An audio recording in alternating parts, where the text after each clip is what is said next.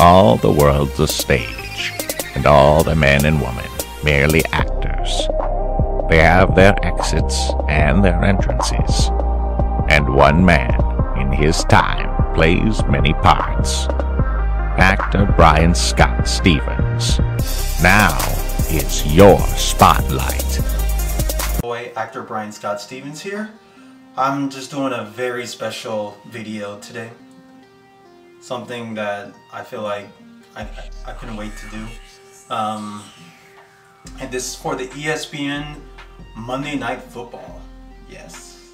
The, the famous Are You Ready for Some Football commercial. Um, but I was definitely honored to be a part of it. So let me just give you some details about this commercial and how it not only helped my career, it also it, it also was my first significant paycheck that I got for acting. All right, so first how I even got the commercial. In between the Disney Evers and and the Monday Night Football was a, a couple months, about I'm gonna say three months difference.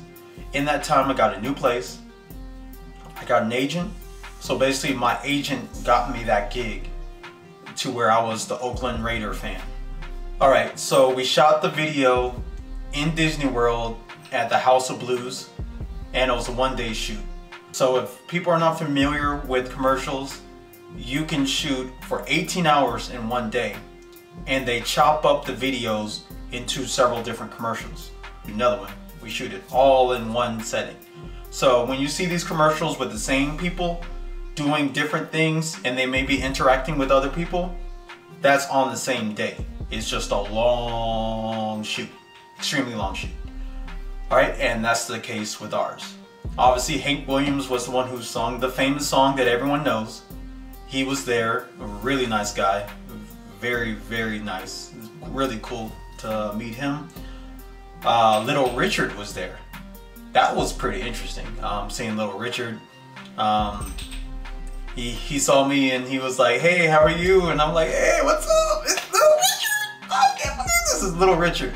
So that was pretty cool just to see, you know, like an icon like that where the people that I idolized idolized him. So that's so that's just cool. But so.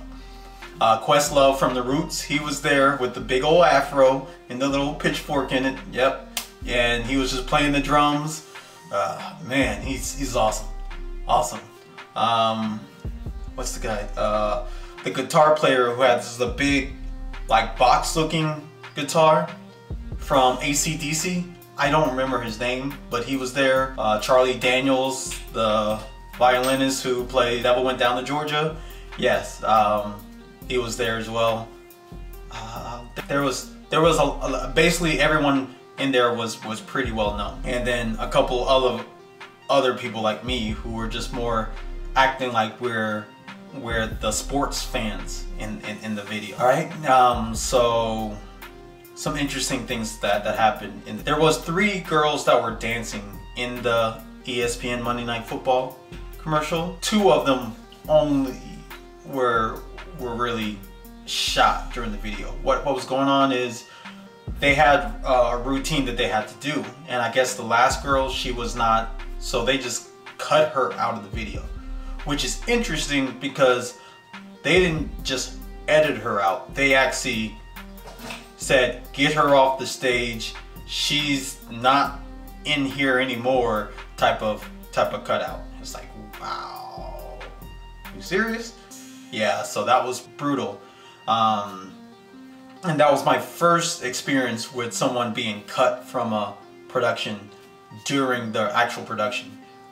So she was cut off from it. In between takes when we were when we weren't filming, we also had a, a pretty nice time in in this regards.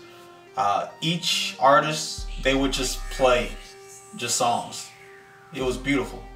Like Charlie played Devil Went Down to Georgia. And then another song that I'm not personally familiar with. Hank Williams sung some of his songs. Um, oh, um, I I know who else was there.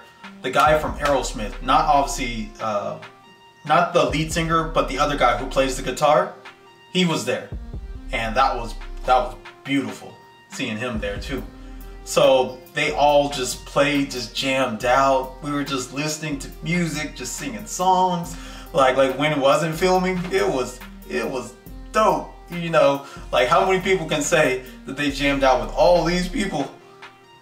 That was that was definitely memorable when it comes to that. So it was my first opportunity to really meet a lot of other people that were around who were all trying to fight just to even get into this commercial. So so it was just only how many how many of us? Like 12, I'm gonna say picked. Uh, I think it was just like 12 of us, one girl, I mean six guys, six girls. For I guess for the whole thing. Because a couple of teams had had had two Monday night footballs. Um, the food was excellent. That was the first time I really had some good on-set food. That food was good.